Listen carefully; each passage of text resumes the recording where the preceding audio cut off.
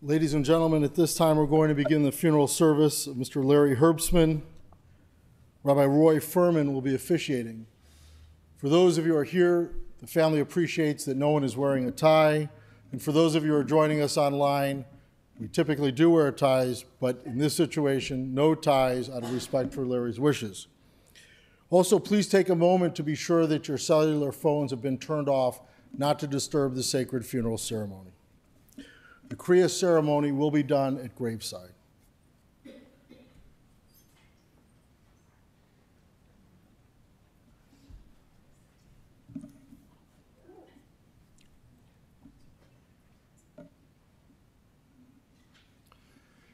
Good afternoon.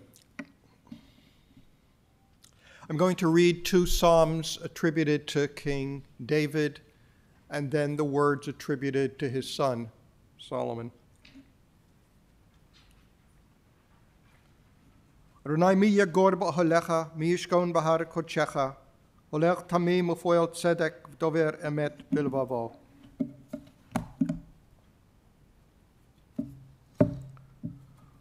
Who can rest in your tent, O God? Who can stand on your mountain?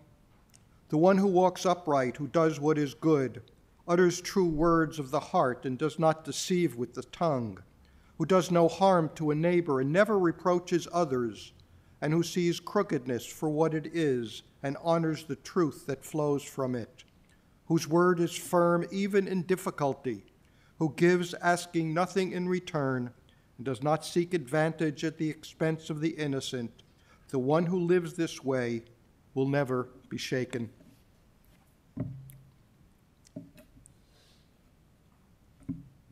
And the more familiar words from Psalm 23.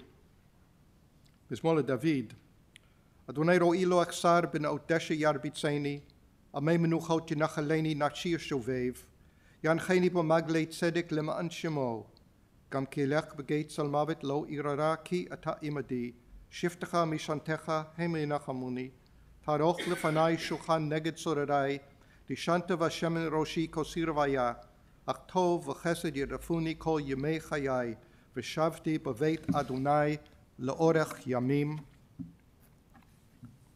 You are my shepherd. I am content. You lead me to rest in the sweet grasses, to lie down by the quiet waters, and I am refreshed. You lead me down the right path, the path that unwinds in the pattern of your name. And even if I walk through the valley of the shadow of death, I will not fear, for you are with me comforting me with your rod and your staff, showing me each step. You prepare a table before me in the midst of my adversity and moisten my head with oil. Surely my cup is overflowing, and goodness and kindness will follow me. All the days of my life and in the long days beyond, I will always live in your house.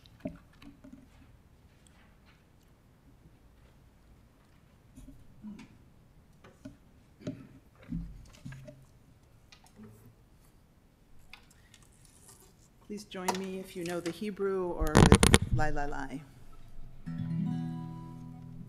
Mizmor leDavid,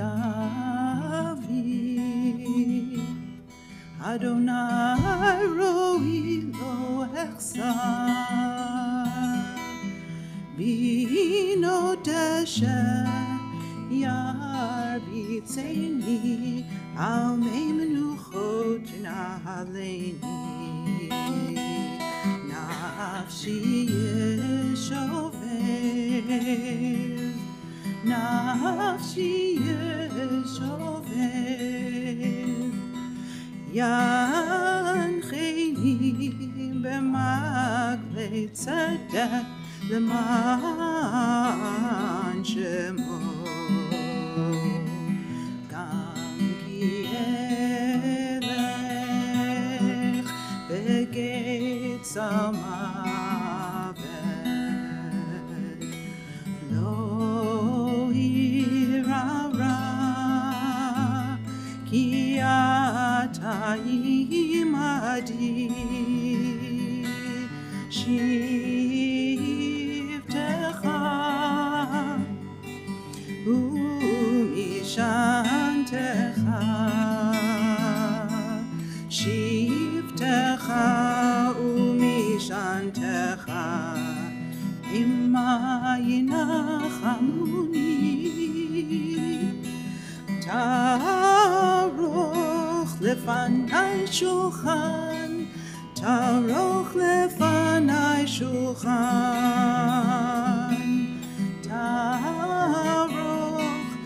לפניי שולחן, נגד צורריי. דשנת ושמן ראשי, דשנת ושמן ראשי. דשנת ושמן ראשי, כל סירב היה.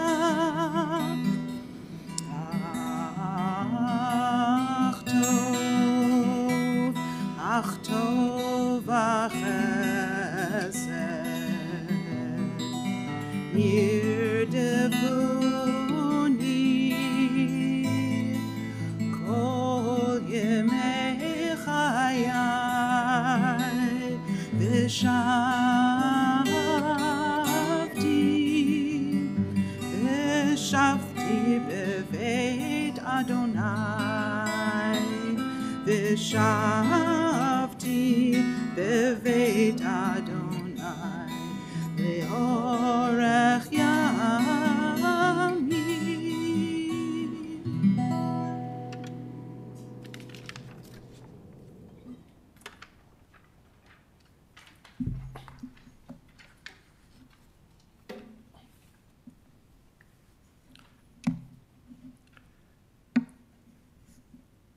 And now the words attributed to King Solomon. It is said that he was the wise person of his time. And his words seem to attest to that. עת לת- לכל זמן ועת לכל חפץ תחת השמיים, עת ללדת ועת למות, עת לטעת ועת לעקור נטוע, עת לפרוץ ועת לבנות, עת לבכות ועת לשחוק, עת ספוד ועת רקוד, עת לחבוק ועת לרחוק מחבק, עת לבקש ועת לאבד, עת לשמור ועת להשליך, עת לקרוע ועת לתפור, עת לחשות ועת לדבר. There is a time, a season for everything, and a time for every experience under heaven.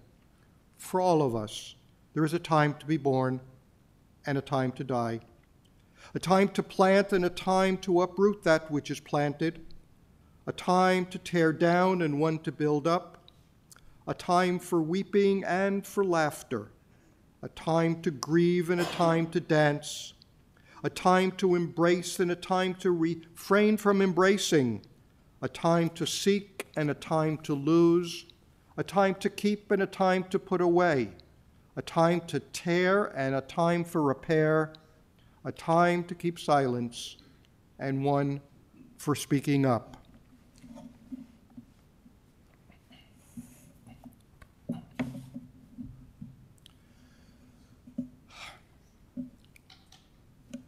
There is much that we can say about Larry Herbstman and about his life, and I and others will surely do some of that.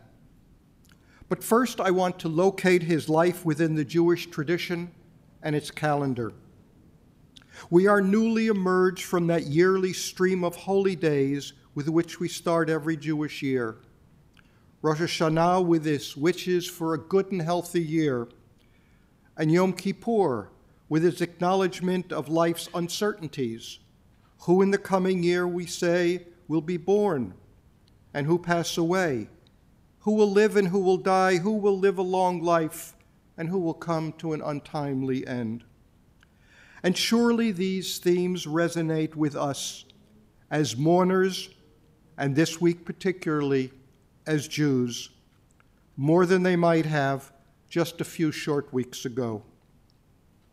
And then Sukkot, Zman Simchatenu, our season of joy, for which we Jews paradoxically build insubstantial huts with roofs designed to leak if it rains, and the reading of the book of Ecclesiastes, part of which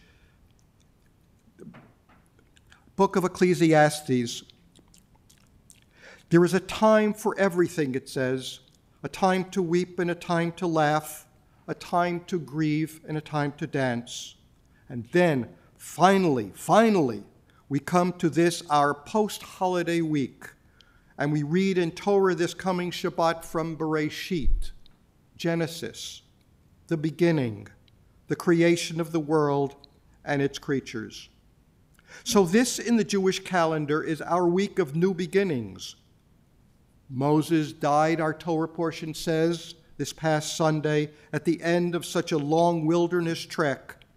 And now we are, as it were, newly created, beings who must struggle all over again to find our way through an uncertain world and its wilderness. Is it a coincidence that Larry died on the seventh day of Sukkot, Zman Simchatenu, the most joyous Jewish celebration? Is it a coincidence that Larry was born during the Jewish month of Adar, with its Purim celebration, a month in which we are, our tradition says, commanded to maximize the amount of joy and fun making in our lives? Is it just a coincidence that Larry's Hebrew name is Eliezer Yitzchak, Eliezer, the one who laughs? When I looked at Larry's obituary notice on the website of this funeral home, the first thing that struck me, even before seeing Larry's face, was the giant polka dotted bow tie that he wore around his neck. That, I was told, was the epitome of Larry's character. And that, I was also told, was the only neckwear aside from the bolo tie that Larry could abide. So, an absolutely unique obituary request do test for COVID, do not wear a tie. Larry, it seems, lived up to the name Yitzhak. He was loath to take life too seriously. He had, I'm told, a joke for everything. He had a sense of humor that drew people to him, most significantly Myra when they met in the bowling alley, and then decided to marry not too many months later. And he, in turn, found so much happiness in his family, especially his children, and especially, especially in his grandchildren, those he was not above spoiling. He made it a point to attend their soccer games and concerts and recitals, and he would, I am told, drop everything to be with them. But as light-hearted as he might appear, Larry had a serious commitment to living an ethical life to doing the right thing, an aspect of his character that made a deep impression on his children. And he was seriously committed to chocolate, particularly in the form of chocolate rocks and chocolate good humor ice cream. He had a serious commitment to the scientific method that he learned as an undergraduate uh, microbiology student and from his master's degree in education while it is true that he spent many years teaching science in the classroom, it is also true, I understand, that he was turned his kitchen into a science lab, following recipes in the exact way he would conduct a scientific experiment. And Larry, as part of the Herbstman clan, was, of course, committed to family, a trait he would have absorbed from his parents, Fay and Julius. For they would gather everyone together on Friday evening for a Shabbos meal at which one could only absent oneself for a very good reason. But more than that, they were committed to one another, certainly Larry and his sisters and brother, but also the extended family network. I got a sense of how this works every time Paulette would say, casually, oh, we're having 35 people or so over for Shabbat meal or for Pesach Seder, and oh, yes, I'll cook for them, and of course, bake challah. There was, if you will, a shadow side to Larry's life, one which makes his life affirming character and his bringing jokes and laughter into other people's lives stand out in stark relief. From an early age and throughout his life, he had to deal with challenges to his health. There was the ongoing concern with the allergic response to nuts. At a, at a time when it was not well known and a time in which one would not carry around an EpiPen. He was treated for tonsillitis in a way that seriously impacted his thyroid. He was asthmatic, hyperallergenic, had eye surgery, an ear tumor that compromised the hearing in one ear, and any number of hospitalizations and major surgeries. But Larry was his own cheerleading team with an ongoing determination to bounce back from whatever issue he was facing, and he would not let anything compromise his sense of humor. So, our deepest sympathies go out to all of you, family and friends, those of you who knew Larry and loved him, and were so very fortunate in having him as a part of your lives. You could not have known that the uncertain words of Rosh Hashanah, who in the coming year will live and who will die, would mean grieving for Larry Herbstman. But here we are, a community in mourning. Grief, as you know, will travel its own unpredictable course, with healing more gradually for some and more rapidly for others, as the blessings of good memories in time replaces much, but not all, of the pain of loss. Our hearts go out to you, Myra, on the loss of your husband and your life partner, now so many years after that absolutely fortuitous bowling alley meeting. You were blessed with almost 47 years of marriage to this dear, funny, caring man with whom you celebrated life's joys and together met life's challenges. May the support and comfort of your family and friends ease your way along the new and difficult path that now lies before you. As the older brother in the family, Larry was protective of his sisters and brother, would be there whenever they needed him, and was very proud of them and their successes. Much of what I have learned about Larry came, Larry came from Art, Bryna, and Paulette. Paulette. Who spoke of him with deep affection, with pride, and with appreciation for who he was and how much he meant to them. So our heartfelt sympathies go out to you, Art, and Bryna, and Paulette. From a low point in grief, may you be lifted up by one another, by your family and friends, and by your rich store of memories of how your big brother was there to lift you up when you needed it. And my condolences to you Annlee, Alan, and Sandy, who were fortunate enough to know Larry as one of the blessings of coming into his family. Ari and Yael, you came to know your father in that very special and important way that children do. And what you came to know was a man whose values, in whose values you took pride, a man worthy of your respect and admiration and love. The black Kriya ribbon that you now wear and which you will tear at graveside is worn by all mourners on the right side of the body except for those who are mourning a parent. Your ribbon is over your heart, as your grief is thought to be the deepest and your loss an existential one. Our condolences as well to those you brought into your family, Mivan and Andy. Viola, Miranda, Archie, and Adira, you each got to know Papa Larry in very different ways, but he loved you all so very much and always wanted to be with you. Remember that he thought that you were terrific. And when you remember him, it's almost like he's still with you. Our condolences to the Herbstman cousins, nine in all, I am told. Keep sharing your memories of Larry as they have, in a way, entered your lives for a blessing. And our condolences as well to those of you who lost a dear friend Zichrono livracha.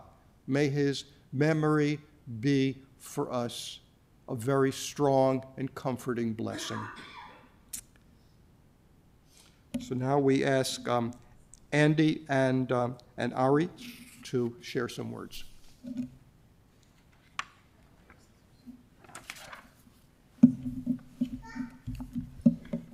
Follow the rabbi, no pressure.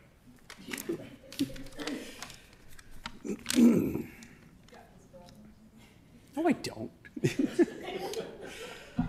um, this is written by uh, my sister and I, with thanks to Benj for helping.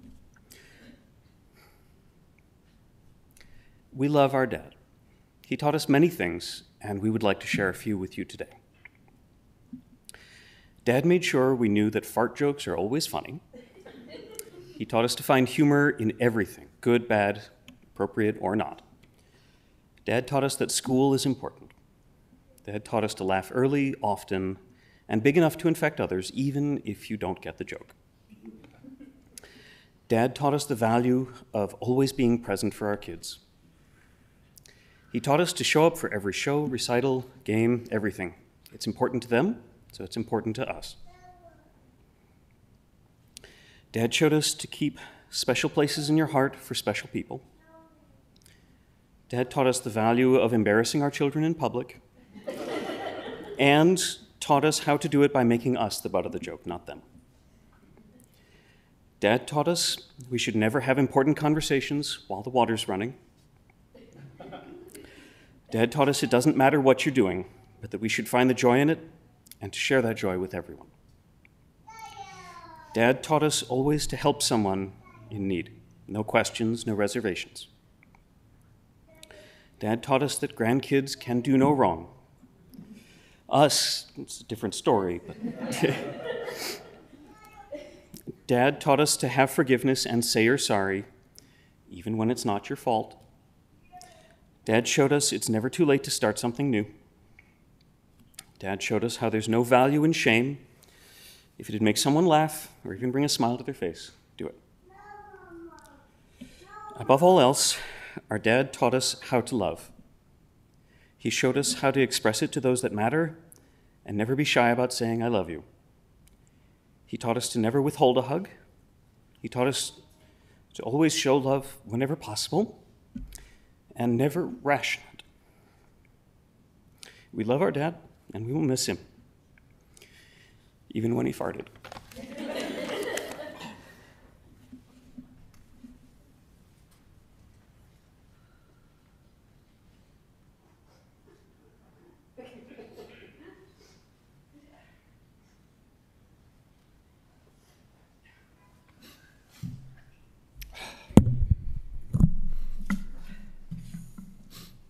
So, uh, my name is Andy, Andy Corn, and I'm Larry's son in law.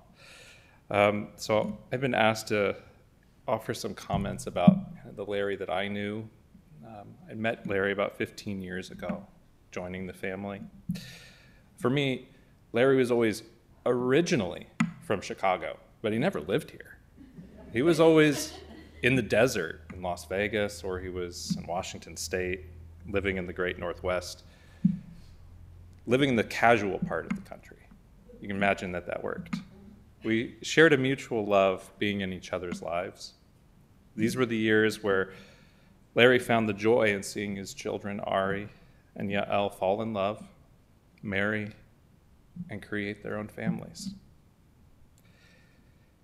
Larry wanted for all of us to have the same devotion and love that he and Myra had for 46 full, almost 47 years of marriage. And in it all, there were the dividends of his love his four grandchildren, whom he loved deeply Viola, Archie, Miranda, Adira. He was a fully devoted grandfather. Larry was also a casual person, hence my attire today. If Larry Foley had his way, you would probably be wearing your favorite pair of jeans and a sweatshirt you know, the ones in the front of the closet, the ones you go to first, um, the real cozy ones.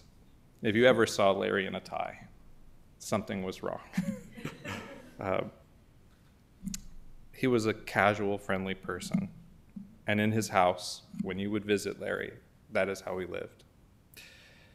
Visiting Larry, you were likely to hear a good joke he'd probably tell you about the weather in Las Vegas, uh, which he loved to talk about almost every time I saw him.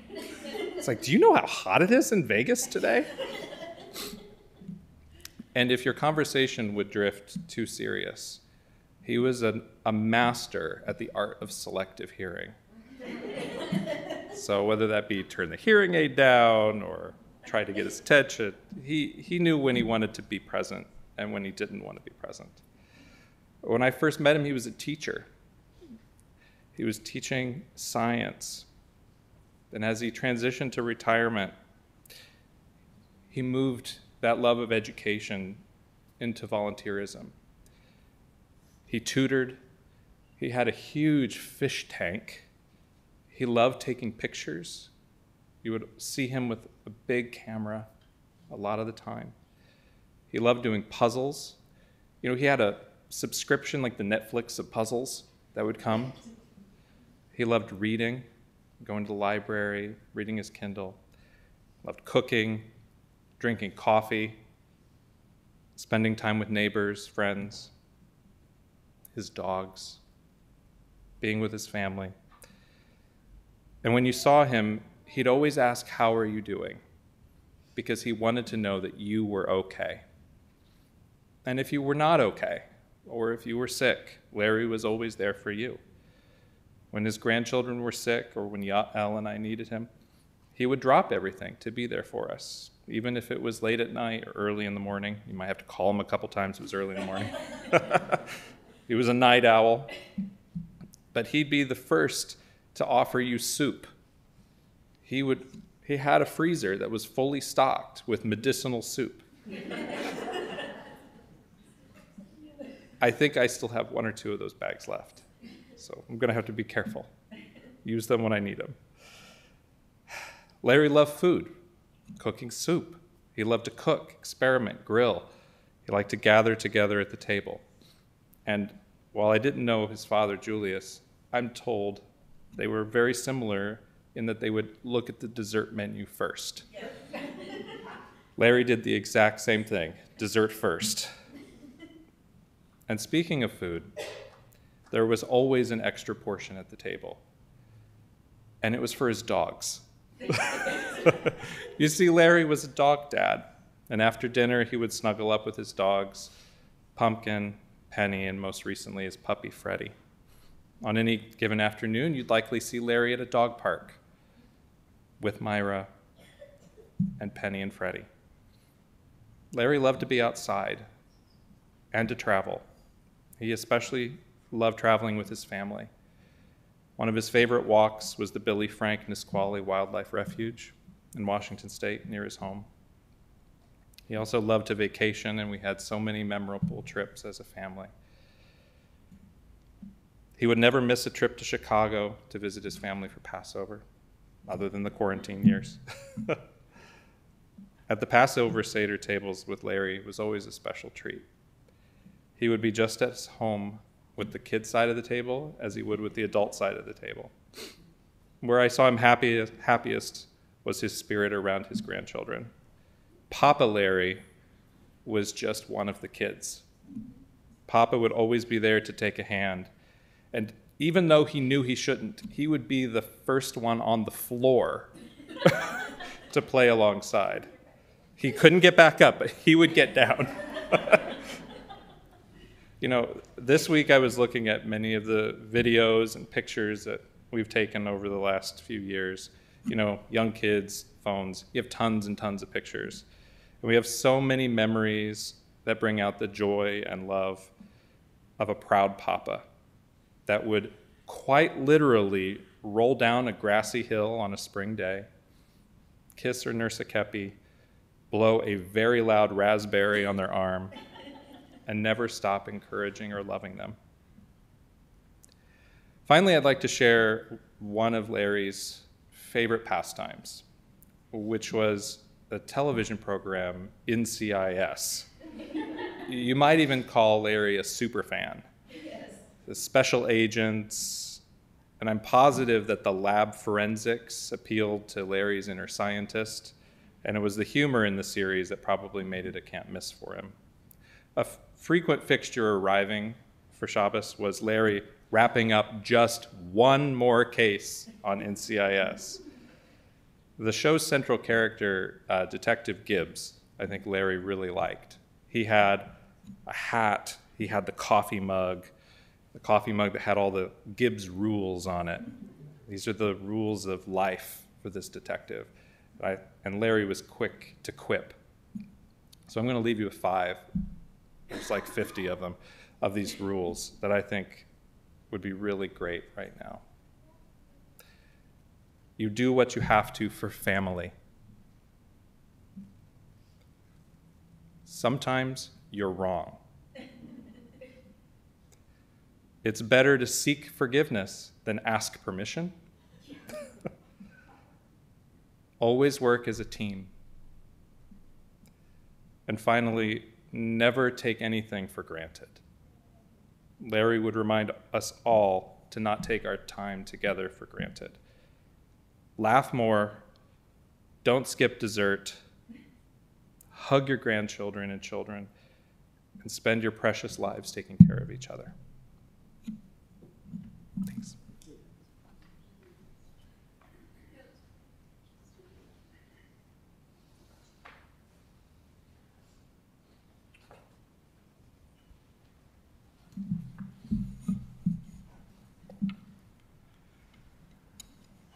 Thank you both. So I'm going to ask you to, uh, to please rise uh, for um, El. I'm going to read a translation, and Liz will, will chant the Hebrew. Compassionate God, eternal Spirit of the universe, grant perfect rest in your sheltering presence to Larry Herbstman, who has entered eternity. God of mercy, let him find refuge in your eternal presence, and let his soul be bound up in the bond of everlasting life. God is his inheritance. May he now rest in peace. And we say, Amen.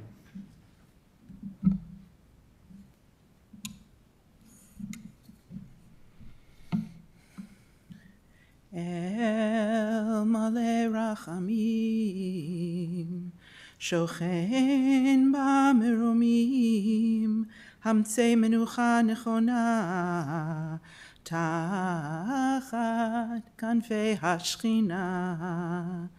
עם קדושים, קדושים וטהורים, כזוהר הרקיע מזהירים.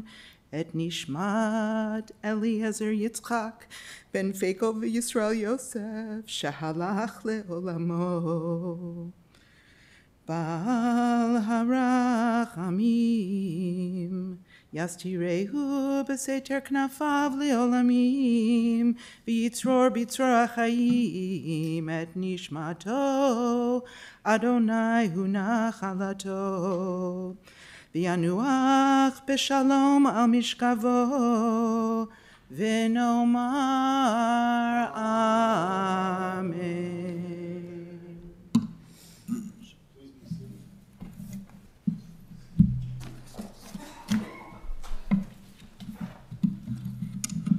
Ladies and gentlemen, the interment service will continue at Shalom Memorial Park Cemetery, located 1700 West Rand Road in Arlington Heights. Family will be returning to the Herbstman residence at 1731 Providence Way in Northbrook, following the interment till 9 p.m. And then the Herbstman Sloane residence at 2770 Prairie Avenue in Evanston, Thursday from 3 to 5 and then 6 to 9. There'll be a minyan at 7 p.m. at both residences, uh, Friday from 1 to 4.30, and there'll be a mincha on Friday at 4 p.m. All that information is on the service folder, as well as con- uh, memorial contributions to the American Friends of Magen David Adom or the Michael I. Jacobson Memorial Gomle Fund. For those of you who are joining us via live stream, that information can all be found on the funeral home's website. For those of you who will be driving in the procession to the cemetery, the procession will be forming in our parking lot. Please obtain an orange safety funeral sticker to place on the right-hand side of your windshield. Have your bright lights and hazard lights on at all times. For additional measures of safety, we'll have a car in the back of the procession to hopefully keep other cars from entering the procession. Please use your horn liberally as you're going through the intersections. Please do not speak or text on your cellular phone while driving to a cemetery. At this time, I'd like to call the pallbearers to come forward as we escort Larry's casket from the chapel. We invite everyone to please rise.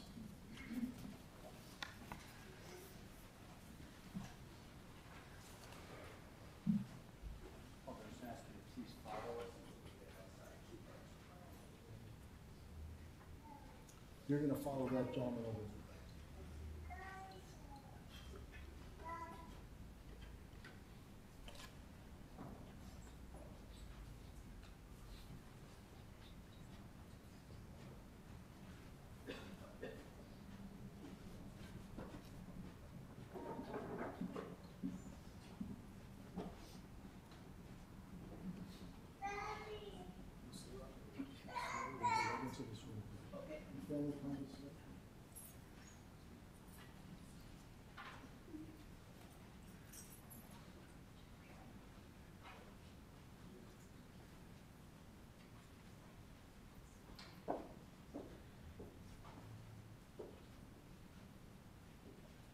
and gentlemen, if you've not taken a moment to sign the register, please do so before you.